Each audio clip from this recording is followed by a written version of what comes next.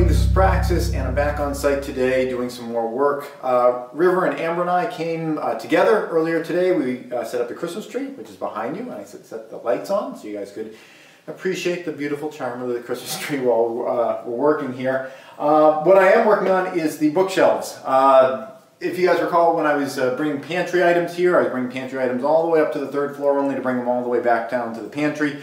Uh, there was uh, a little bit of frustration on my part about all the extra work it was taking to carry them up, only to carry them back down. And now I'm doing the same thing with books. We're carrying boxes of books from the other house, and I'm throwing them up in that storage room, and I know that I'm going to have to bring them all back down to here. So I've been thinking, well, you know, there's an awful lot of books. Why not just build the shelves, and when we bring the books, we can put them right on the shelves keeps more room up there for shuffling things around while we uh, move in, and also it's like less lugging things around. Gonna do it anyway, so might as well do it today. Uh, if what you can see kind of in front of you here are uh, the bases of the shelves. I, I, don't want books directly down on the floor, so I'm uh, uh, using these uh, one and a half inch boards to stick down on the floor, and then the three quarter inch board shelves. I'm using 10 inch deep shelves are going to sit on top of here. So the the first row books will be about two and a quarter inches up off the floor. I'd like it if they were a little bit higher maybe, but you know, one and a, one and a half inch boards are so convenient. These are con uh, connecting down really well. It's all just extra stuff that I had. So, uh, you know, balancing what I've got as scrap and ease of uh, installation with, uh, you know, height off the ground, I've uh, determined that this is going to be just fine. Um, what I'm doing right now is uh, finishing this, uh, this run across the back. What there's going to be is about 13 feet of bookshelves on the back uh, and 6 feet of bookshelves on either side of the walls over here. And it's going to be 7 shelves high. I did the math on uh, you know, how high I wanted each shelf to be. And you know, books are really variable. I mean, some books are really big, some books are really little. And it's kind of it's a bit of a challenge to try to figure out, uh, well, how do I want to uh, set these shelves in terms of height?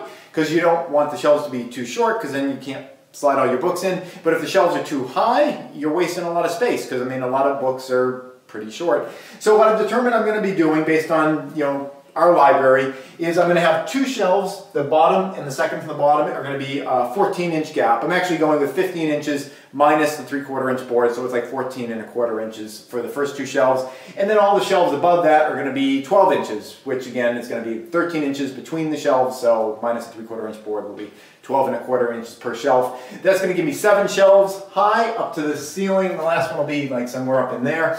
Uh, and um, I think that's going to work out uh, reasonably well. Again, there's going to be some books that are much shorter than 12 inches, but I like to uh, set my books in the shelf not based on their height, uh, but based on what their topic is. So, like, if I, you know, you could say, well, just make a shelf that's, you know, shorter and you put all your short books there, but you may have short books about gardening and you may have tall books about gardening. And instead of having them set up so it's like, oh, well, all the short books on gardening are here and the tall ones are down there, it's nice to try to keep them together. So 14, 14, and then all the rest are going to be about 12 inches.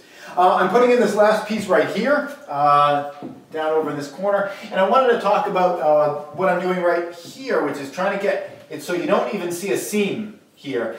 And the way that I'm doing that is uh, instead of cutting these at perfect 90 degree right angles, I'm cutting them back a little bit. So you got the two tips, they're gonna face out, kind of touching right in the front.